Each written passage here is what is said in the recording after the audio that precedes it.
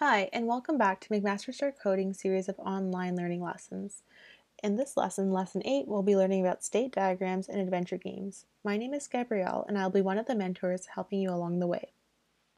So to begin our lesson, we're going to start with a little game, which involves you interacting a bit and maybe speaking out loud as you play along and get more comfortable with the setup of our state diagram.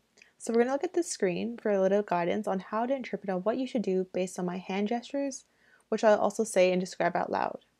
So if we were to begin in the quiet setting, and I was to raise two arms up, what sound would you guys start to make? Quack, quack, quack. You're right, yes. So you received a cue to quack using my two hands, and you're going to stay in that state of quacking until I give you the next transition or cue to determine your next state, your next sound, basically. So now what if I put one arm up after the quacking state? What sound would you make? Oink. You're right, that's correct. So we're going to keep the oinking going. Oink, oink, oink. And now what happens if I were to put one arm up? Moo, moo, moo. You're right. We'd start making mooing sounds. And if I would put two arms up again, we'd be back in our oinking state. And two arms again, and we're back in our quacking state. Perfect. So thank you for all playing along. And I hope you got a feel of how we move in between different states. So if I want to go from quiet to moo, it wouldn't be a direct state uh, transition. I would have to do two arms to get to quack, an arm to get to oink, one arm to get to moo. And then you're able to see the relationships between different states and the transitions required to achieve those. So what we just did was a live action game using a state diagram. What this means is that we started out in a state where everyone was quiet uh, explains where you are or what status you may have, and then you moved or you transitioned into the quack state based off of the two arm cue I gave. This cue is depicted by the arrow on the diagram. The arrow or transition work to illustrate an action that is to happen in order to go on to the linked state. And you guys caught on pretty quickly and naturally to use the state diagram as a legend to help you interpret which states are linked and how you can maneuver in between them. So state diagrams are used in almost every single adventure game, both virtually and in person, in order to help you map out and understand the storyline.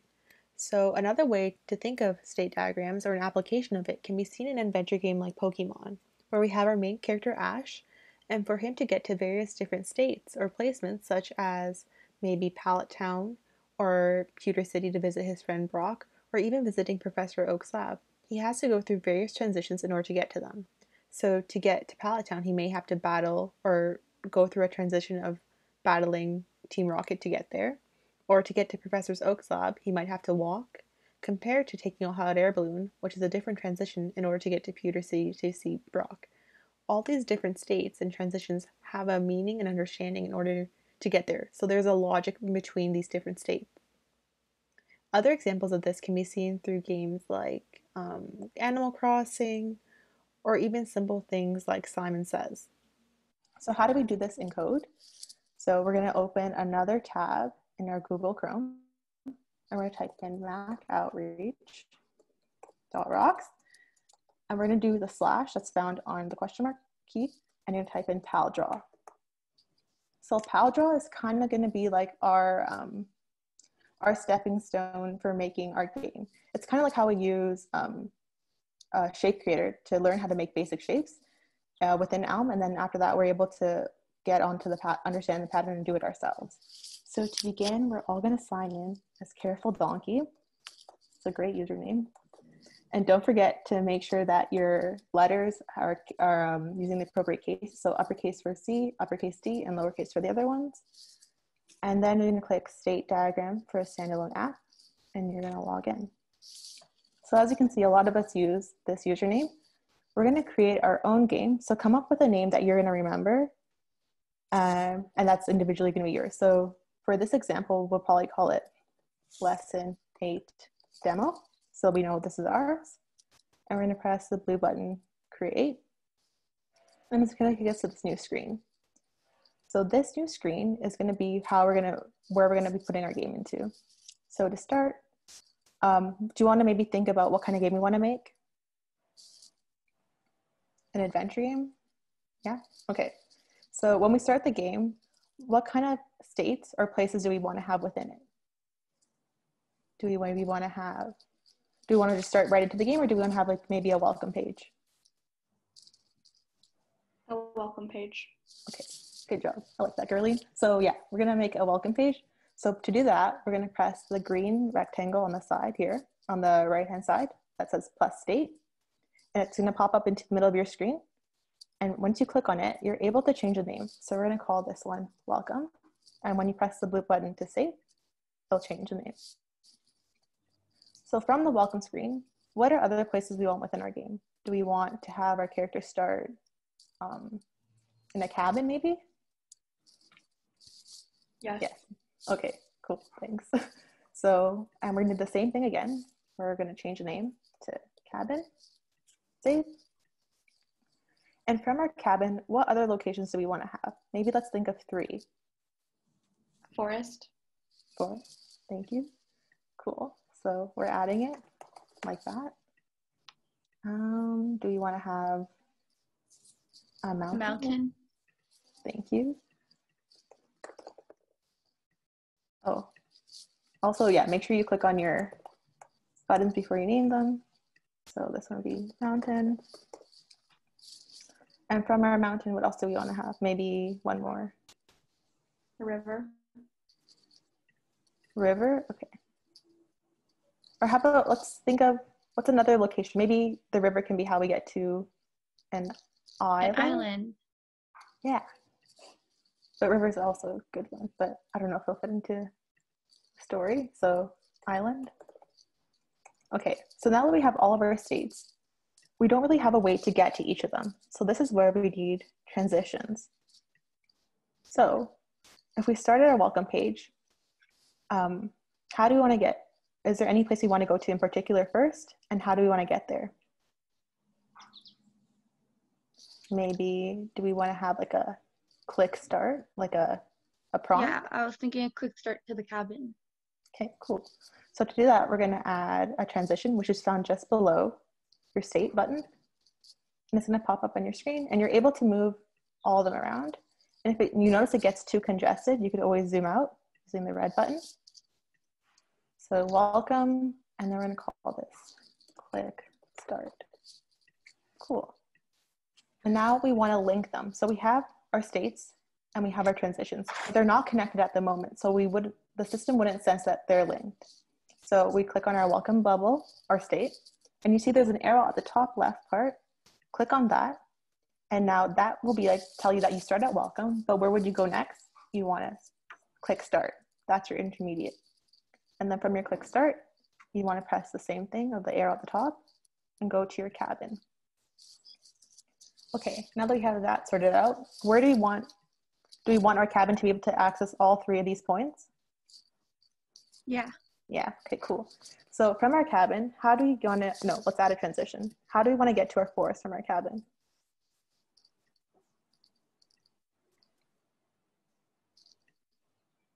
Maybe we can just call this walk. Okay, I'll take that as yes. okay, cool.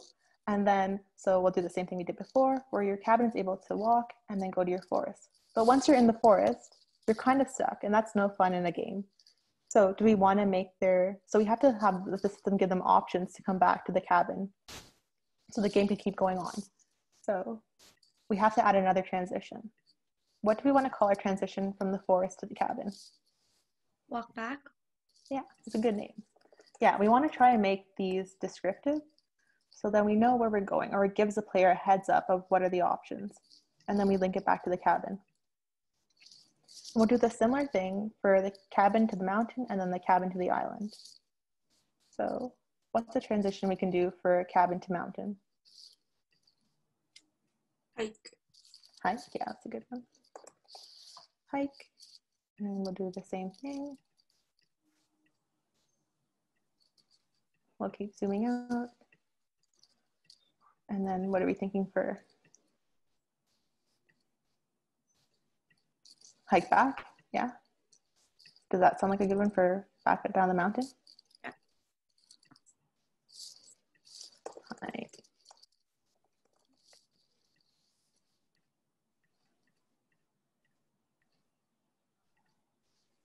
And then finally the island. So this goes back to like maybe Gerlene's example of saying river. So maybe we could, from the cabin to the island, we could swim.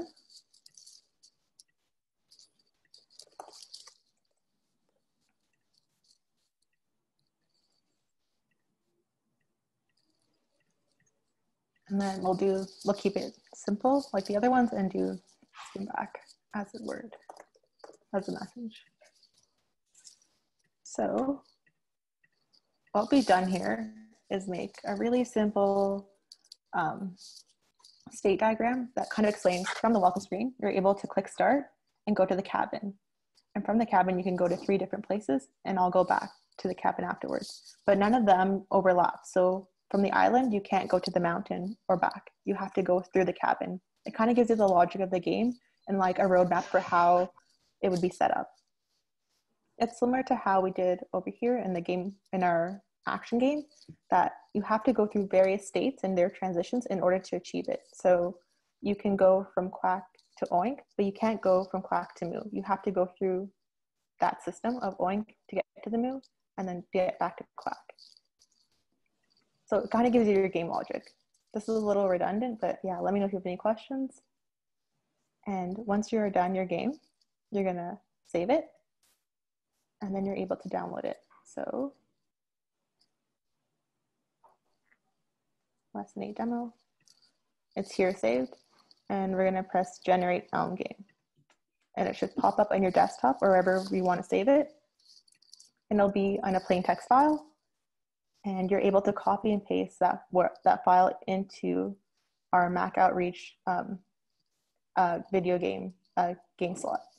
And the other half of the lesson, Tavian's going to go over how you, well, what does that code generated mean, and then how you can interpret to make it yourself, and then also how can you add different elements to make it more appealing visually. So how can you add maybe the shapes that you made in the first or second lesson um, to make your forest more picturesque? Or how can you add change the various um, fonts of the letters to let people know like oh this is like i don't know you want to give like a more a, a more descriptive font for your work but yeah.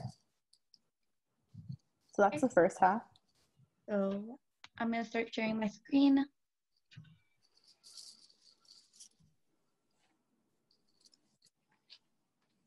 okay so I've just pasted in the code that came from PalDraw. So looking at it, like right off the bat, we can see that this isn't what we're used to. So let's start off with the top. So as you can see in my shapes model, firstly, there's no um, boiler right after um, the equal sign. It just starts with case model.state. And essentially case model.state is a way of writing a list um, moreover, it says welcome, cabin, forest, mountain, island. So in PalDraw, that's what we used as the different states, and each state has its own boiler. So essentially, what this does is it separates each state so that each state has looks different, and you can customize each uh, each state to look a certain way. Um, when we scroll down, we see that there's a type message, and here it says all of the different transition we've made. This is really important. We cannot, um, there, the transitions won't work and neither will the states unless this um, type message is there. Um, moreover, there is the type state. This just lists all the different states that we have. And then afterwards, we have the update message model. Now, essentially, this is what connects the, uh, the transitions and the different states together. So for example, we have click start and right underneath it, it says case model.state. And from here, we can deduce that uh, once we're at the welcome state, uh, once click start is initiated, so the transition is initiated, it would go to cabin. And that's essentially what all of the different um, update message models say. So for example, this one right here on line 54 says if we're at cabin, if walk is enabled, then we would end up at forest. So I'm just gonna compile this really quickly. And as you can see, we end up at um, the welcome page. However, because there's no button or anything really that uh, connects the two. Because right now we haven't, uh, we don't have anything that enables the walk transition. So there's no way, or the click start transition, sorry. So there's no way to get to the cabin. So I'm gonna show you guys how to make buttons really quickly. So I'm gonna make a rounded rectangle. And I'm gonna make this 50 by 20 by five. And I'm gonna filled light blue. And I'm gonna move this down.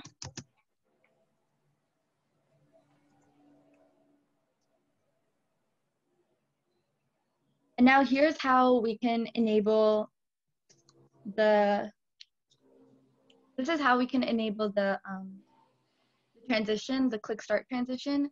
So we'll make a button. So before I make the button, I'm first just gonna compile it to see what um, it looks like. So there is what we're gonna be using as our button. So now we're just gonna write, gonna make another input underneath rounded rec, and we're gonna write notify tap. So once we do that, we're gonna write the transition. So click parts. And then once we get here, we can click this button and you get to the cabin. So I'm also really quickly gonna go back and I'm gonna write uh, go to cabin or a message here. Gonna write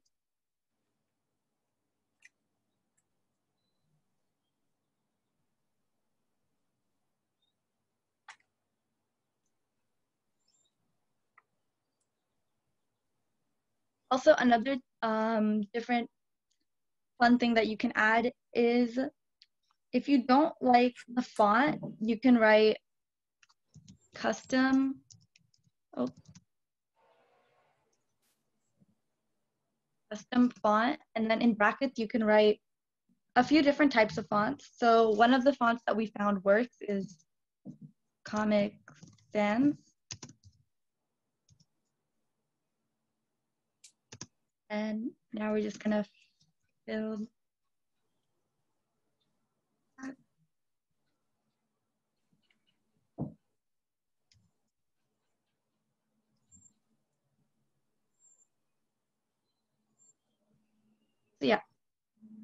Um, I could also add the button onto the text so that regardless of where I click on this blue rectangle, whether it be the text or the blue part, it would enable the transition.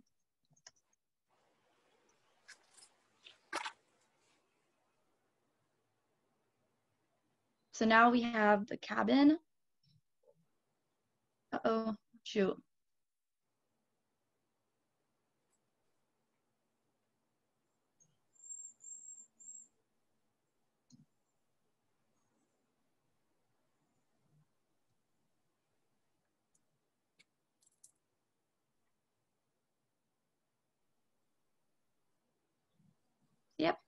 Um, so now go moving on to the cabin.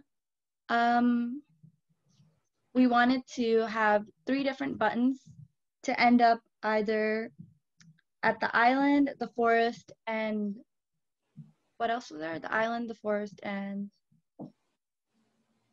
the mountain. Let's just really quickly add in three different rounded rectangles to work as our buttons.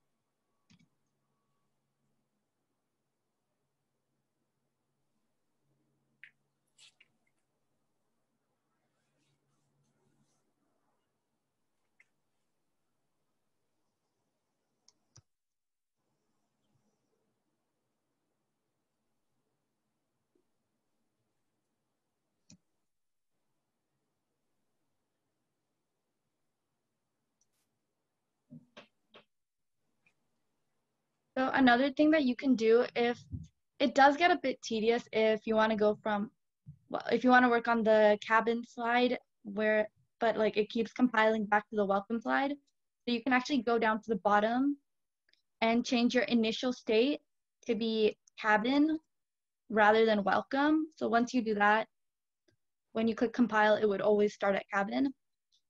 Um, make sure to always change your initial state back to what you want it to be rather than what makes it convenient at the time.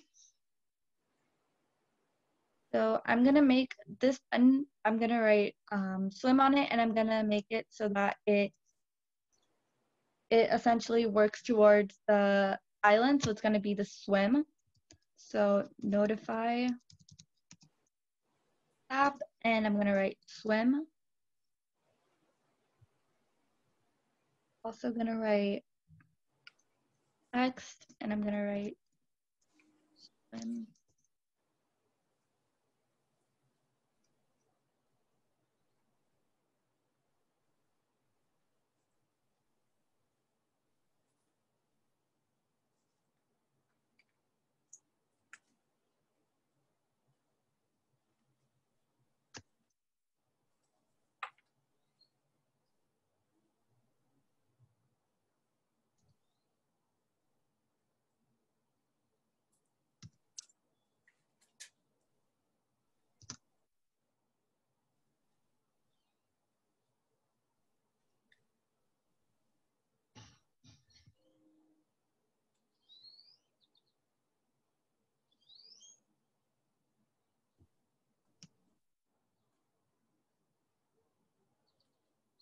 So now we're at the island. So I'm gonna compile it and I'm gonna, for time's sake, I'm just gonna copy this code.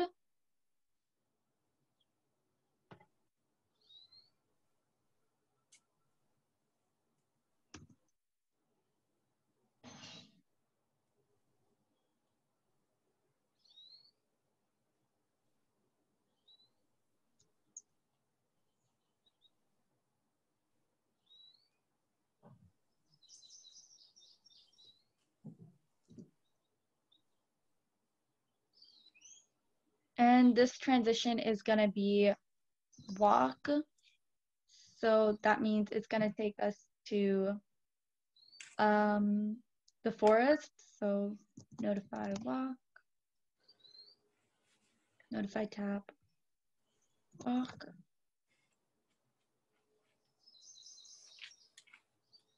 And I'm gonna make the last button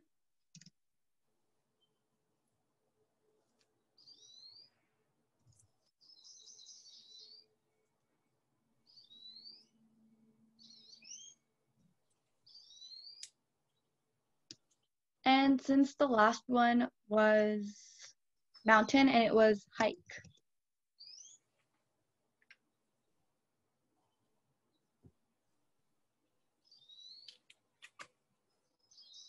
So now we have all the different buttons to get to all the different states.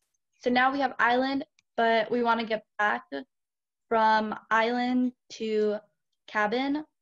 So once again, I'm just going to paste a button and this button is going to say back and I'm going to use the transition um, swim back.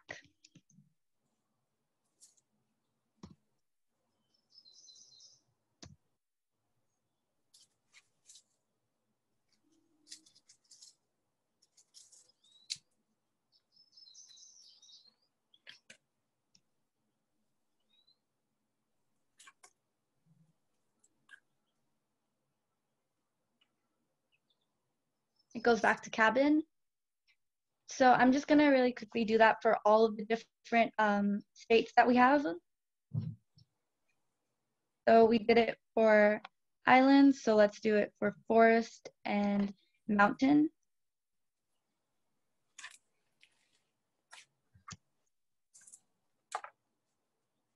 And remember that even if you are copying and pasting, uh, make sure to change the notify tap, the transitions, because otherwise it will not work.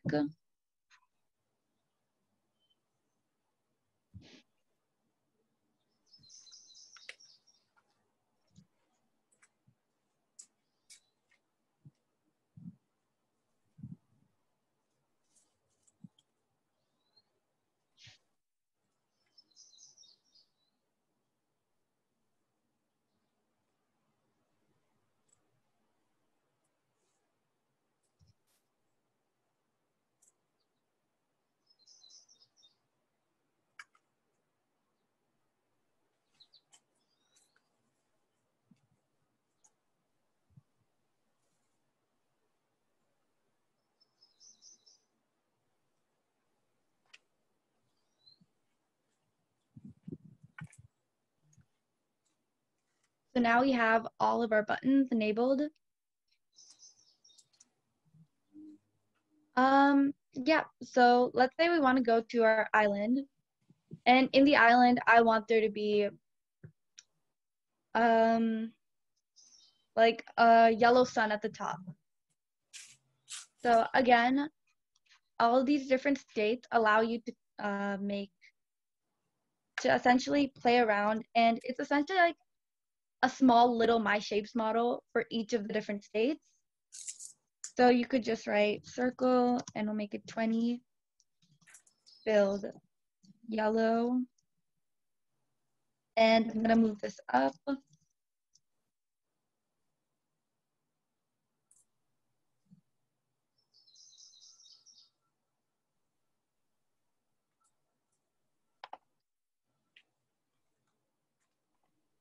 So now we have like a little sun there. So that's essentially how you can make a little adventure game and you can use buttons to move around and go to different states and places in within your game.